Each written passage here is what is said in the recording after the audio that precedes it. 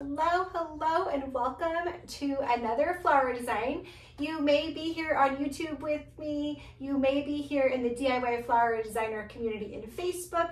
Wherever you're tuning in from, I just wanted to come on and say welcome. Today we're gonna do this really fun little farm type basket. It's got a bee theme. As you can see, I got little bees.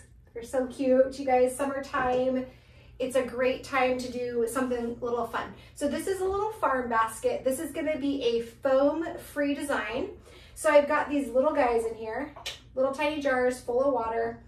And if you were gonna deliver this, let's say you were a florist and you were gonna deliver this out, I would actually put cellophane around the little jars, but I'm not gonna deliver this. This is gonna just be kind of around our house um, for flowers for us to enjoy. And so basically what I'm gonna do is make little flower arrangements just into this vase. We're doing all flowers. We're not gonna do any greens, okay? This is gonna be, when we go all flowers, it's a little bit more expensive. It's kind of more of an elevated look. If you were wanting to keep the cost down on this, you could absolutely put greens in here to keep the cost down.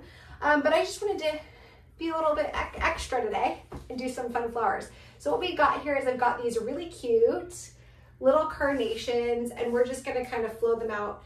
These vases are pretty short, so we're gonna do them just tall enough for them to kind of peek over the edge here.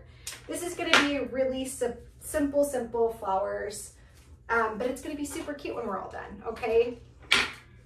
And we're gonna have some line flowers in there too, just to create interest. So it's gonna fill up pretty quick and be pretty simplistic but gorgeous. If you were DIYing like a, a wedding, this could be a really cute centerpiece. Would be great on a food table, those kinds of things. So we're just kind of putting a little bit of carnations in there just to kind of create a little filler and some interest. So I'm doing one on each side and then we're gonna put some other fun things in here. I think I'm gonna cut some of these just a tiny bit taller maybe. Don't want them to be too short. We definitely want them to poke over the top here a little bit. Okay, the next thing we're gonna add, I'm in love with these toffee roses, you guys. They are absolutely beautiful.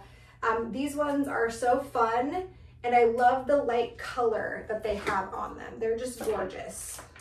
So we're gonna pop these guys in. You can hear my kiddos in the background. Everyone's still home for summer vacay, you guys. Couple more weeks before my kiddos are in school. So you may hear those little, little kiddos in the background. And some of these toffee roses I would say are pretty blown, you guys, but they are so gorgeous when they're this open. Um, I might be a little bit careful if I was using them this blown for a wedding, but they're gonna be okay here. They're just gonna go hang out in my house and in my little pink room, you guys that I have where I go and set all my flowers and kind of, it's kind of my little pretty space in the house.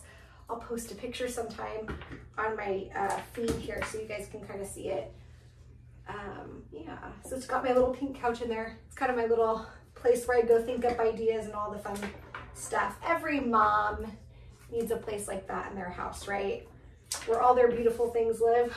That's kind of what it's kind of like. So really pretty. We're just keeping it real simple. I put a flower preservative in these, so it is gonna help them last as long as they can. And then I would definitely finish these with Crowning Glory. That's my absolute favorite. Crowning Glory is amazing.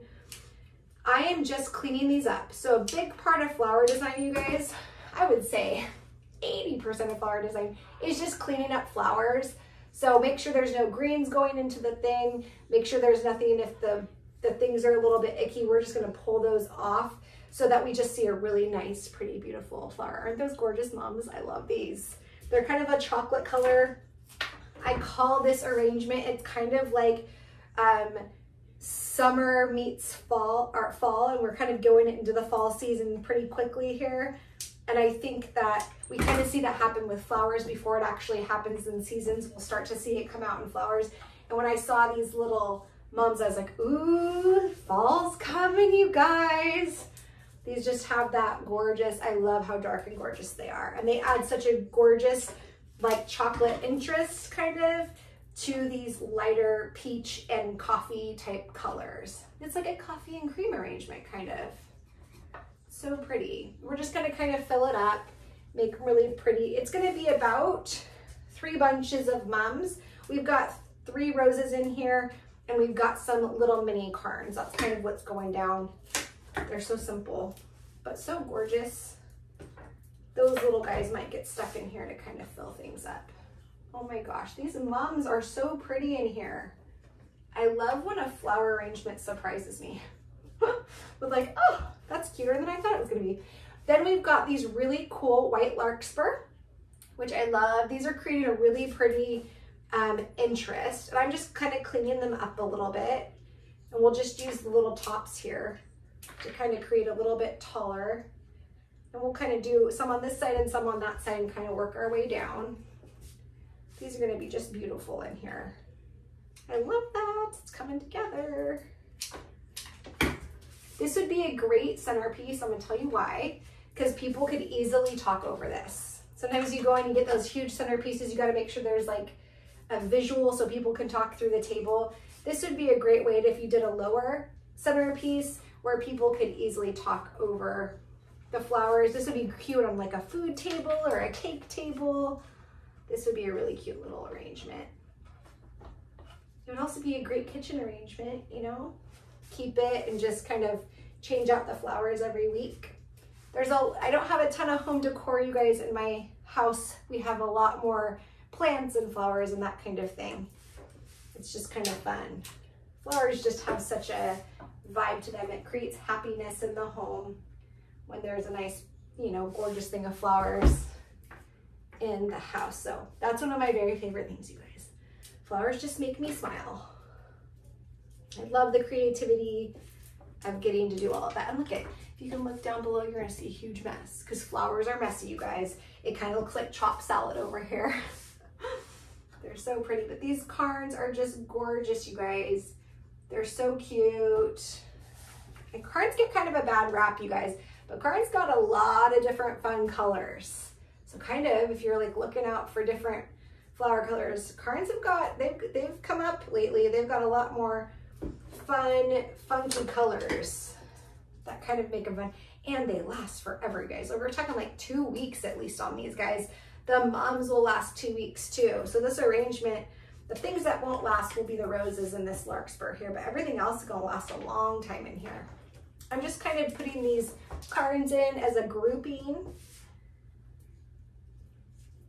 Just kind of makes it pretty, just get the groupings in there. It fills it up nicely and it makes it really pretty. I'm gonna shove it right in there love when you can kind of create a line and they can kind of group it away so it connects the arrangement. That's something to really think about when you're doing flower design is how your flower arrangement is going to connect.